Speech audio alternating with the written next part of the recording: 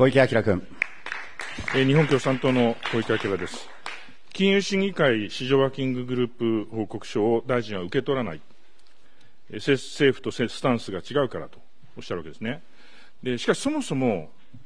スタンスが同じだったら審議会に諮問する意味がないと思うんですよ。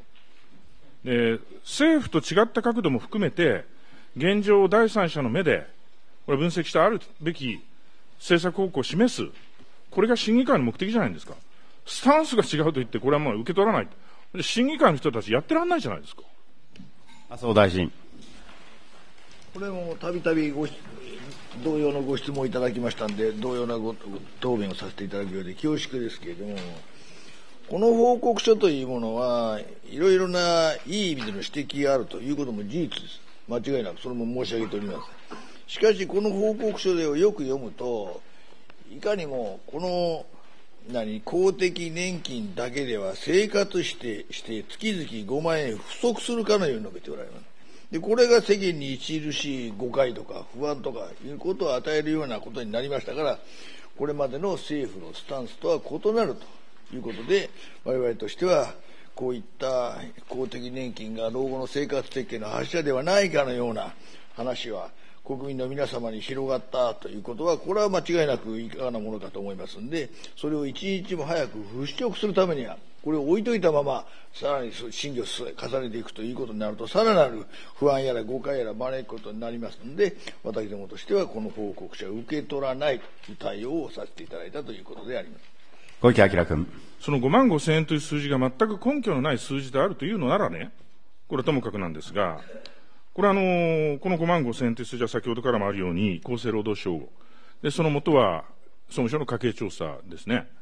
で、あの、お配りしている資料の一番目に、ワーキンググループに厚労省が出した、まあ、あの、資料が出てるわけですが、ここには実収入と実支出の差は月5万5千円程度と、ここにはっきり書いてあるわけであります。で、あの、厚労省の企業年金、個人年金課長も会議で、実収入と家計支出の差は月5万5千円程度と。で、今後、実収入の社会保障給付が低下することから取り崩す金額が多くなるというふうに言ってるわけですね。で、厚労省にちょっと聞きますけれども、その実収入と実支出の差、これは5万5千円。この差を見れば、この5万5千円不足していたっていう、まあそういう認識はもちろんお持ちだと思うんですが、いかがですか？土山審議官。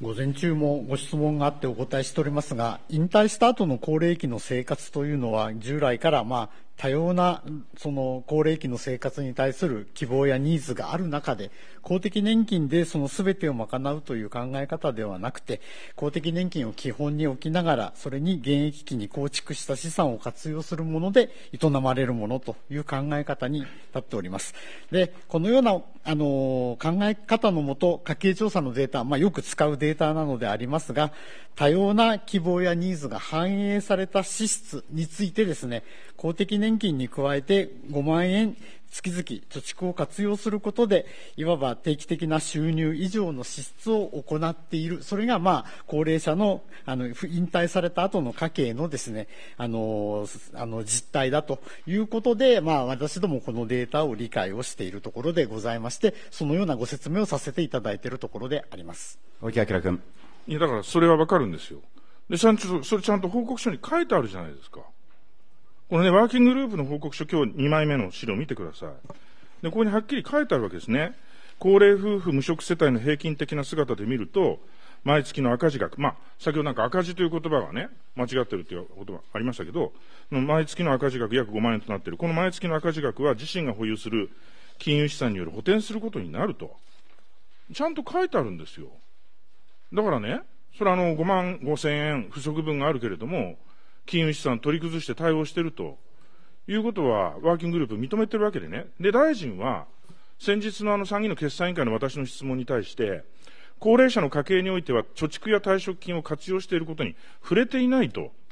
触れていないというふうにこの問題、あの、報告書の問題点指摘されたんですけど、ちゃんと触れてるじゃないですか。金融資産の活用についてちゃんと言及してるじゃないですか。何が問題なんですか麻生大臣。あの、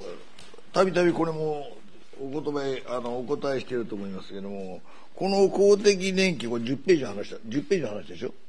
？10ページなんですね。あの、これはあたかも公的年金だけでは生活してして月々5万円足らないかのように述べていますが、このところが私どもとしては、著しい誤解、不安を与えることになったんだと思っているということを申し上げております。ですから、現実問題としては、こういう表現をされてしているところが問題なんで、我々は国民の老後の所得の中心となる公的年金については、これは老後の生活をある程度賄うものとして将来にまた持続可能な制度を確保しておりますので、政府として今後とも公的年金制度の持続性をしっかりと確保していくと同時に、この高齢所得者を含めた、まあ、低所得者の高齢者の方々は、えー、今年の10月からか、あの、年間最大5万円、6万円の年金生活者支援給付金を支給するなど、いろんなさせていただいておりますけれども、いずれにしても、こういったようなことではないので、現実問題としては今、厚生労働省の方が答えた、答えられた通りだと思っております。小池晃君。ね、微妙に違いますよ。微妙というかかなり違いますよ。要するに厚生労働省は、5万5千円不足したと書いてるけれど、あ、じゃあ、差額があると言ってるけれども、そこは金融資産で補填するから、不足というのは正確でないんだと。いうことを言ったわけですよ。で、ところが、金融審議会、ワーキンググループの報告書にはちゃんと金融資産で補足、補填するって書いてあるんですよ。ということはですよ、これ問題ないし、記述じゃないですか。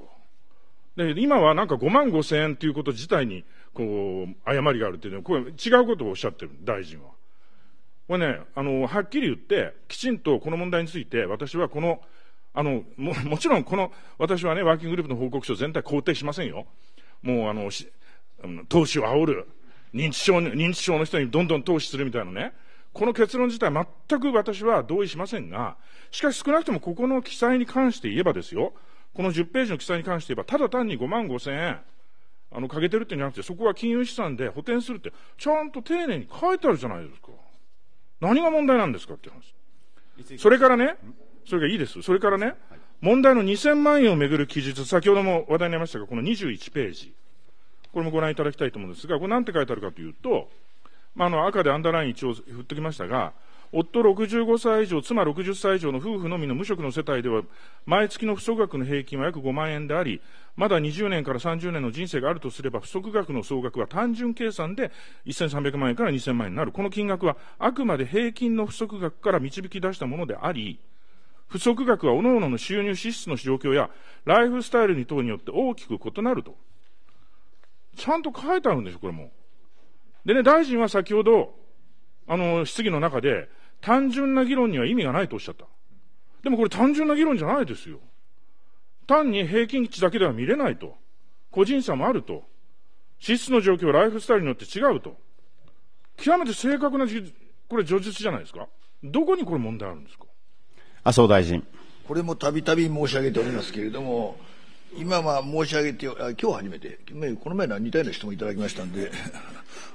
あの、トーンが同じだからいつも似たように聞こえるのかもしれませんけど、あの、すいません、あの、私ども、私どもの感じ感じでは、今の、今の話はね、少なくとも今これが書いてある話によってどういう不安が起きてるかといえば世の中は明らかに不足しているという話をわーっとずっと言っておりますからそれではいかにも年金というものが全く立ち行かなくなるような年金では全然全くダメなように感じる受け取られるような形の不安を煽る誤解を招いたというところが最大の問題と思ってますから私どもはそういった考え方ではないということを申し上げてきているということであります。小池晃君。読み取った国民が悪いんですか？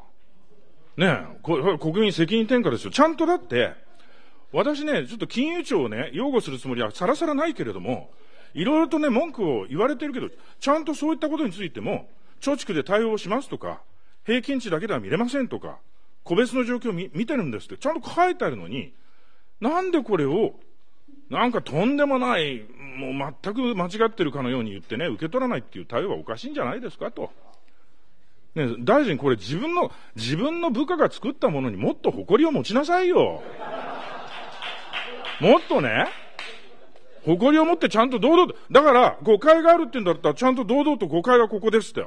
国民の皆さんちゃんとここに書いてありますと。いうふうに説明すればいいじゃすればいいじゃないですか。麻生大臣。少なくとも私どもはこういったような形がいろんなことが書いてあるのまたたびたび申し上げておりますけどこれも書いてある内容にいいところもありますし正しいというところも私ども賛成しているところいっぱいございますしかしその上で申し上げれば今申し上げたような5万円の話と2000万円の話は著しく誤解を与える結果になっている不安を煽っているという状況は我々としてはこれは看過すべきものではない。私どもはそう思っておりますんで少なくともこういった話によっていろんな形で不安をそのままどんどんどんどん増長して広まっていくような話はこれは方向としてはいかがなものかと思いますんで一旦きちんとした形でこれは対応させていただいた上でこの話はきちんとしておかないと少なくともその点だけはいかにも足りないかの話だけずっといっぱい話してしまいってしまうというのはさらなる不安を煽るということになりますのは避けたいというのが一番のところです小池晃君。さらなる不安を煽るのは避けたいと。しかしですよ、大臣の対応に世論世論はどう反応してますか？共同通信の世論調査では、麻生大臣の報告書受け取り拒否表明は問題だと。71.3%です。毎日新聞では受け取り拒否に納得できないが68%です。産経でも72.4%は適切でないです。あの、誤解を解くために、不安を解消するために受け取りを拒否したんだとおっしゃるけれども、受け取らないという対応が、これ、不安や誤解を解消しましたか？現実見てください。今の世論を見たら、大臣の対応は、国民の不安や誤解を解消するものになりましたか？麻生大臣。今の段階で私どもが直ちにそういう世論調査というものがどれくらい信頼性があるものかよく分かりませんけれども私どもとしては今のお答えはお答えとしては拝聴させていただきます。拝聴させていただきますけれども私どもとしては私の判断としては正確だと思いますが私の判断としてはきちんとした対応としてこれは今の段階で受け取ったまさらに上の経営金融政審議会の方に上がって総会で上がってきちんとした公文書をさらに格付けしたような形になりますと私どもとしては不安をさらに煽るという結果に招くと私どもはそう思って私の判断でそれにさせていただいたというふうに思っております小池晃君。さすがに今度の対応が不安を解消した誤解を解消したとは言えないわけですよ大臣だって実態としてみれば、受け取らないという対応にね、みんなね、怒ってるんですよ。あの、この中身以前に、こういうね、財務省の対応、金融庁としての対応にね、ここにみんな不信を持ってるんですよ。今後年金の水準が下がっていくだろう。公的年金ではますます暮らしていけなくなるだろう。これ間違いない事実じゃないですか。ごまかしようのない。赤字と表現するかどうかっていうのは些細な問題ですよ。本質的な問題ではないですよ。で高齢者の生活平均値でって測れない。その通りですよ。しかし、多くの高齢者が現実にすでに年金だけでは暮らせない実態がある。これはもう紛れもない事実ですよ。やっぱりそういったことははっきり認めた上で、これからの年金をどうするんだということを、国民に対して率直に訴えるというのが、為政者として取るべき態度であって、これをね、もう受け取らないからなかったことにすると。大臣は先ほどね、隠蔽するつもりはないとおっしゃった。しかし本日閣議決定何やりましたか？正式な報告書として受け取らないので、報告書を前提としてお尋ねには答えませんと。そういう閣議決定やってるんですよ。質問主意書に。結局、隠蔽じゃないですか、これ。こんな対応が国民は納得すると思いますか、大臣。麻生大臣。あの、今の閣議決定のお話ですけれども、私どもはこれ隠蔽してないと思っておりますのは、少なくとも、この種の話は今まで従来通りこう金融庁の中ではホームページにもきちんと載せておりますしそういった意味では別にその内容を隠してるつもりはありませんしどっかの政党だかどっかの会社みたいにきっちりなかったことにっていうんではないですよ。私でも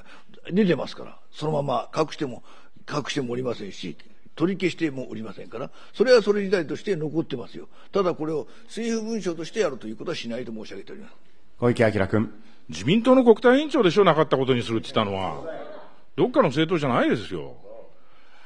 結局ね、だって、答弁拒否してるじゃないですか、質問主意書には。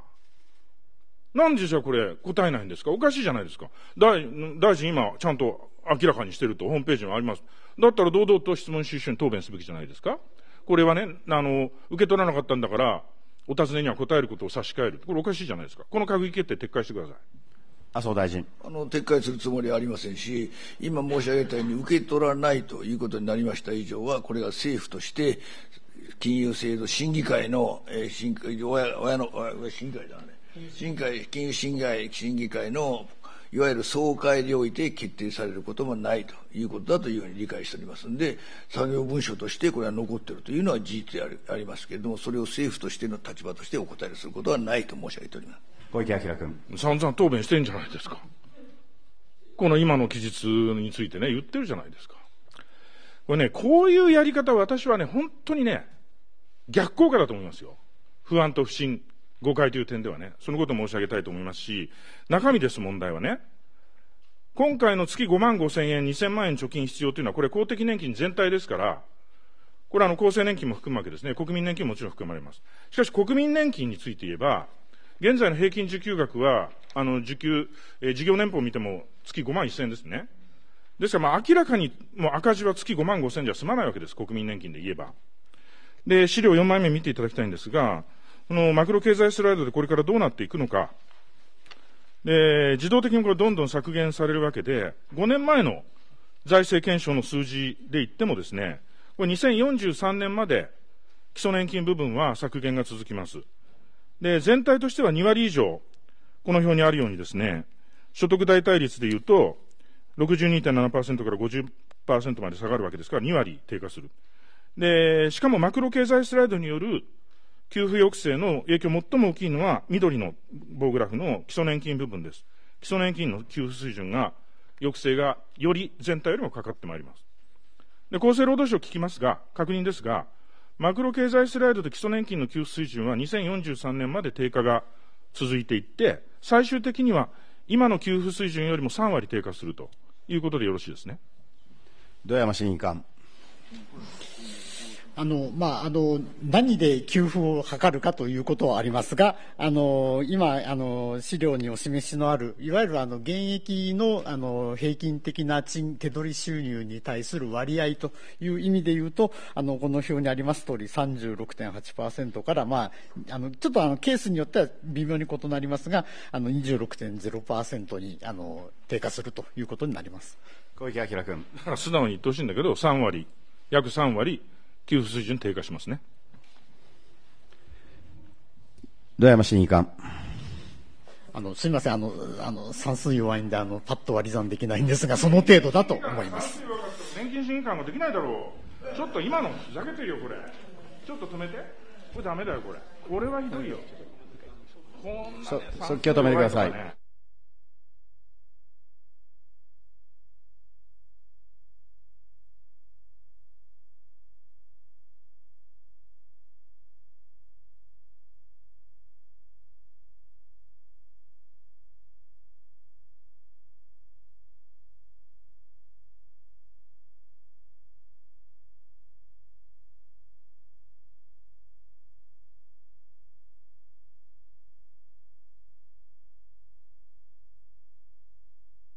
土山審議官。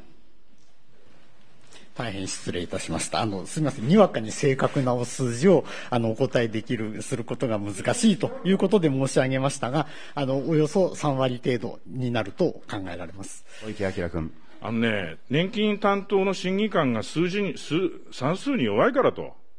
国民の皆さんが今年金の水準がどうなるのか心配しているときにね、国会の答弁で算数には弱いからって言って答える。これほど私ね、国民を愚らした、愚弄した話ないと思いますよ。こんなね、厚生労働省にね、日本の年金任せといていいんですか？これ大問題じゃないですか、こういう答弁が出てくること自体がね。私そう思いますよ。で、この金融審議会のワーキンググループの議事録では駒村康平さん委員、こう言ってます。62.7%の所得代替率が、1974年生まれぐらいからは52%、50%下がると。で63%のものが50に下がるということは、年金の実質水準が20%下がるということだと。特に基礎年金については、対賃金比で36.8%が26%まで下がるということは、30%実質年金が下がるということを意味していると。で今のマクロ経済スライドを受けると、社会保障給付の19万円は、おそらく15万円ぐらいまで段階ジュニア世代は、から先は下がっていくと。月々の赤字は5.5万円ではなくて、段階ジュニアから先の世代は10万円ぐらいになってくるのではないか。こういうふうにおっしゃってる。私この通りだと思うんですが、これ正確な指摘だと思いますが、厚労省いかがですか？山審議官。えまずあの、マクロ経済スライドの調整は、年金の名目額を下げない範囲で行う仕組みとなっておりますので、これによりあの年金の額が下がるということはございません。その上で、えーと、人口構成が安定的であれば、経済の成長の果実をまあ年金水準にも反映できると、まあ、その結果、所得代替率がキープできるということになるわけですが、人口構成が変化することに対応するために、成長の果実のすべてには年金をに反映せずにですね、あの、部分的にその人口構成の変化にのへの対応に当てようとする。これがあの、マクロ経済スライドのいわば設計思想ということであります。ご質問にあったような将来の年金水準の計算をされる方、あの、たくさんいらっしゃるわけですが、あの、私の理解としては、あの、これはあの、成長の果実を、の一部を、まあ、人口構成の変化への対応に当てるという、今申し上げましたマクロ経済スライドの設計思想を抜きにした、いわば生態的な計算になっているというふうに思っておりますので、年金の財政検証の前提とも異なりますし、私どもとしては、このような計算で将来の年金水準を説明してはおりません。小池晃君。あの、駒村浩平さんっていうのはね、年金審議会、厚生労働省の審議会にね、いっぱい出てる、もう有識者ですよね。見識持ってる方ですよ。その人がね、言ってることを頭から全く否定すると。ひどいですよね。これね、本当にこの金融審のメンバーにしてもね、まあ、こう、年金審議会のメンバーにしても、こういう言われ方をしているようなところにね、じゃあ出てって意見言うかとなりますよ。本当にね、私呆れました。えー、こういうことをはっきり認めないから年金不安っていうのは強まってるんじゃないですか大臣ね。私ね、このマクロ経済スライド続けていったら、基礎年金水準本当にどんどん下がっていく。基礎的な生活、基礎的消費支出はるかに及ばない。そういう水準になっていくんですよ。だから、駒村さん言ってるようにですね、これ5万5千円の赤字がこれ10万円ぐらいになるとおっしゃってる。そうすると、これ30年間になるとこれ3600万円ですよ。で、その世代っていうのは今41歳から若い人ですよ。まさに就職氷河期世代ですよ。で、その就職氷河期世代の人が3600万円の貯蓄をしようと思ったら、毎月12万5千円ぐらいね、貯金しないと、やっていけないんですよ。そんなことが今のね、若い世代にできるわけないじゃないですか。こういう深刻な数字を抱えているんですよ、政府は。だったらそれをしっかり示して、堂々と国民に対してこういう年金なんですと。このまま進んでっていいんでしょうかということを正面から問うべきじゃないですか。で、しかも、財政検証を出そうとしない。で先ほどからも議論ありましたが、様々なオプションについての試算を行っているため出せないというわけですが、前回5年前の財政検証の時もオプションやりました。で、マクロ経済スライドのフル適用、厚生年金の短時間労働者への適用、非保険者の期間の延長。で、こういうオプション資産もやって6月3日に公表したんですよ。5年前は。で、厚生労、もうちょっと、あんまり厚生労、もうちょっと政務官に聞くわ、じゃあね。あのー、このマクロ、あのー、財政検証の、やっぱり、あのー、まあ、オプション資産をやるから時間かかってるって説明なんですけど、じゃあ、その、今後の制度改正に関わる部分を除いた、少なくとも今後の年金給付水準を示すために最低限必要なデータは、これはもうあるわけですよね。揃ってるわけですね。イエスかノーかで答えてください。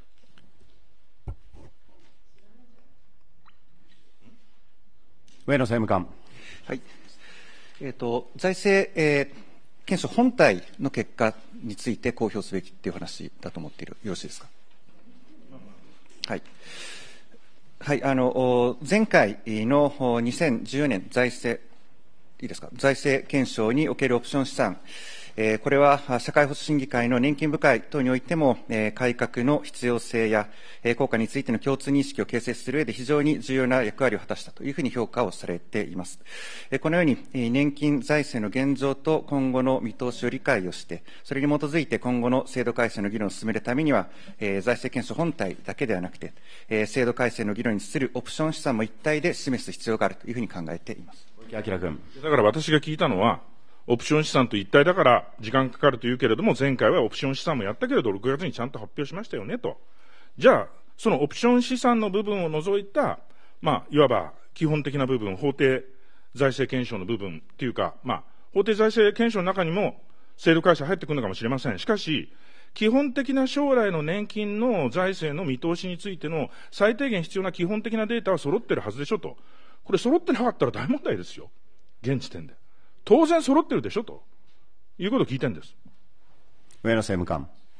はい、あの先ほどもお答えをいたしました、えー、制度改正の議論にするオプション資産も一体で示す必要があるというふうに考えています。でさらに、財政検証本体と、えー、オプション資産の相互の数値の整合性の検証など、えー、数値の点検作業を慎重に行う必要があるからあ、行う必要があることから、財政検証本体のみを先に出すということは困難であると考えています。小池晃君。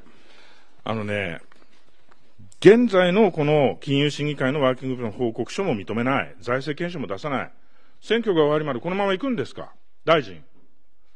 これだけ年金の問題に国民の不安が高まっているときに、さっきはあの、それは厚労省の仕事だからってね、おっしゃったけど、副総理でしょ。内閣全体の副責任者でしょ。安倍、あの、麻生さんは。だったらば、これだけ国民の中で、年金に対する将来不安がね、高まってるんだったら、これを直ちにやっぱり発表すると、少なくとも選挙の前に出すと。昨日自民党の全国幹事長会議で、安倍総理はもう年金の財政は確固たるものであるというふうに言ってるんですよ。だったら堂々とこれやればいいじゃないですか。そういう指示を。これはあの財務大臣でも金融担当大臣でもいいんですけど、まあ副総理として、やっぱりきちんと内閣に、政府に、これ求めるべきじゃないですか。麻生大臣。あの基本的には、この年金の問題というのは非常に大きな問題であるこれははっきりしておりますので、これは厚生労働省としてもきちんとした対応をするべく今、努力をされておられる最中なんだと思っておりますので、私どもとしては少なくともこの厚生年金といや年金の話っていうのは、少なくとも年金制度っていうのは、現在の年金制度に変えさせていただいて、平成16年度の改正でやらせていただいて、きちんとしたものが出来上がったと、私ども自身は基本的にそう思っております。その上で今いろんなものを足して計算をしているという最中でありますので、それに少々時間がかかるのはなるべく早くしてするべきというのは、これ皆そう思ってそう思った上で、なおかつ時間がかかっておるという実態でありますので、これなるべく早くやるようにということは申し上げるというには言えばいいってもんじゃありませんので、きちんとした対応をもう一回厚生労働省でしているもんだと思っております。小池晃君。あのー、やっぱりね、なるべく早くじゃダメでしょ。だって参議院選挙というですね、これはもう期日が決まった国民の審判を仰ぐ選挙あるわけですよ。で、その中でやっぱりこの問題ちゃんと議論できる土台を作るのは私は政府の責任だというふうに思いますよ。選挙までに出させる、言ってください。麻生大臣。あの、厚生労働省の中で真剣に議論をしていただく中で、選挙前にできるかできないか、私の段階でも申し上げる段階にはないと存じますが。小池晃君。こういう対応が不安を煽ると私はもう一回申し上げたいと思います。そしてね、誤解を招くから、誤解を招くから報告書は受け取らないと言うけど、私はね、はっきり言って一番誤解招いてるのは100年安心だと思いますよ。今日だって大議論になってるじゃないですか。100年安心の意味をめぐって。みんな言うこと違うわけですよ。で、国民の多くはやっぱり100年間安心して年金で暮らしていけるというふうに受け取ってるんですよ。じゃあそうではないんだと、これは。年金の財政が維持できるんだというだけの話なんですと。いうことなんですと。いうふうに説明するわけでしょ。でね、大臣ね、やっぱりね、100年安心という言い方はもうやめた方がいいんじゃないですか。麻生さん。ね、100年安心という言葉こそが、私は金融庁のね、報告書なんかよりよっぽど不安を煽ってると、誤解を招いてると思いますよ。もう100年安心という言い方は政府としてはやめるというふうにしてくださいよ。どうですか？麻生大臣。あの100年安心というネーミングは気に入らんという話ですね、今のお話は。100年、100年年金、年金という名前はもう少し別の名前にした方がええと。どういう名前がご希ご希望なんだかどうか分かり分から分からないので、私もちょっとお答えのしようがないんですが、少なくとも100年の、100年の年金という安心とかいう言葉がいろいろという誤解を招いているというようなお話だと思いますが、私どもは少なくとも平成16年度の改正というものによって、現役世代の負担が平成16年以前のものですと、先ほども申し上げ申し上げましたように、少なくとも今までのやり方は、給付額を決めた上で必要な負担水準を決定するというやり方では、少子高齢化の時代に合わないということで、いろいろご議論を、ご議論をいただいて、まずは負担を固定して、その範囲内に収まるように給付水準を決定するという方式に変えさせていただいたのが平成16年ですよね。その時に平成100年いうものの話が出てきたんだと私の記憶ではそうなんですけれども、そういったものに合わせてやらやらさせていただいたんだと思いますが、その時にはマクロ経済スライド等々のものをいろいろやらせていただいたというのはご存知の通りであります。少な少な少なからず現役世代の、ね、平均の年間手取りというものの約50%以上を収入で確保すると。その上で、私どもとしては5年ごとに財政検証も加えて、今後おおむね100年間の見倒しを確認することとされております。5年ごとの検証で。そのご指摘の100年安心はこのように公的年金制度の持続可能性というものをしっかり確保されているということを示すものと、私どもはそう理解をしておりますので、引き続きこうした趣旨を皆様に理解していただけるように、丁寧に説明してまいりたいと考えております。小池晃君。だからそういうふうにくどくどと説明しなきゃいけないような言葉はもう使わない方がいいんじゃないですかと言ってるんですよ。気に入る気に入らないの話じゃないんです。100年安心というのはこういう意味なんですということをあれこれあれこれ言わなきゃいけないというのは、さっきの金融審議会の報告書の記載がどの子のよりもよっぽど誤解を生むんじゃないですかと。だから私は、こういうふうに変えろとか、ああ変えろと言ってんじゃない。100年安心という言い方はもうやめた方がいいんじゃないですかと。で、大臣自身が自民党の世界もそうだって声出てますよ。でね、大臣だって、ね、総理の時に、麻生さん総理の時に、政府として公式に100年安心歌ったことありませんって言ってるじゃないですか。だからね、もうこの際100年安心なんて言い方やめて、もうちょっとその正直にきちんと説明するようにしたらどうですかと言ってる。イエスかノーかで答えてください。大臣の政治家としての見解。麻生大臣。内閣総理大臣の時はこの前の制度、平成16年以前の話でしたよね、あれ。ねえ。100年、100年、大臣のって総理大臣って言われましたから。違うでしょ？総理副総理として言った話になってませんか？入った後では、総理総理総理の時はこのっちの上の16年以前の話ですからということを申し上げてるんですが。100年という言葉今言われましたんで、私どもはそう思っておると申し上げてるんですが。小池晃君。あの私がね、指摘したこの政府として公式に100年安心歌ったことはありませんという答弁は、これ2009年ですよ。2009年。2009年4月27日の参議院本会議ですよ。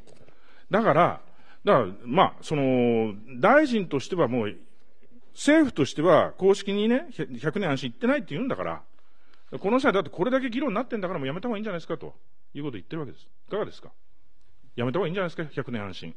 麻生大臣。あの、これを今私の、私の一存で100年安心という言葉を取り下げるということを希望されておられるんですか？あ、そういうことはいたしません。小池晃君。まあ本当になんかね、もう、嫌になっちゃいますけどね。だからこういうことこそ私は国民の年金不信をね、煽ってるというふうに思いますよ。でね、やっぱりあの、これだけの問題があるんであれば、きちんとこれを国民に対して示して、で、こういう年金制度のままでいいんだろうかということを正面から問うべきなんですよ。で、私は決算委員会でそう言ったんです、総理に。やっぱりこんなね、頼りにならない年金年金のままでいいんですかと。で、やはりその、今、うん、まあ、富裕層に対して、きちんと負担を求める。あるいはその大企業法人税についてきちんと負担を求める。